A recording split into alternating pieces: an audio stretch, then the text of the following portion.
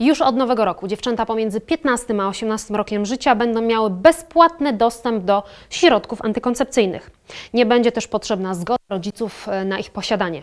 A to wszystko dzieje się we Francji. Francuski rząd jest pewien, że dzięki nowej ustawie zmniejszy liczbę niechcianych ciąż, która wynika z ignorancji problemu, tematu tabu, o którym nie rozmawia się, nie wypada rozmawiać w gronie rodzinnym i braku dostępu do antykoncepcji. Młode dziewczyny często wstydzą się poprosić lekarza rodzinnego o przepisanie środków antykoncepcyjnych, bojąc się, że poinformuje on o tym ich rodziców. Ale od stycznia 2013 roku będzie chroniło je prawo. Pozostaną anonimowe podczas wizyty u lekarza rodzinnego, a państwo zapłaci za wizytę i środki antykoncepcyjne. Zgodnie z obowiązującymi przepisami, nastolatki, które e, chcą pozostać anonimowe podczas wizyty u lekarza, muszą zapłacić za nią gotówką i nie mogą ubiegać się o jej zwrot.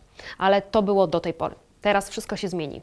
Tyle, że we Francji mieszkają dziewczyny takie jak Sabrina, o której wspomniał autor tekstu. Jej pierwsza wizyta u ginekologa nie wiązała się z badaniem i uzyskaniem środków antykoncepcyjnych, ale z zaświadczeniem o swoim dziewictwie, którego zażądał jej ojciec.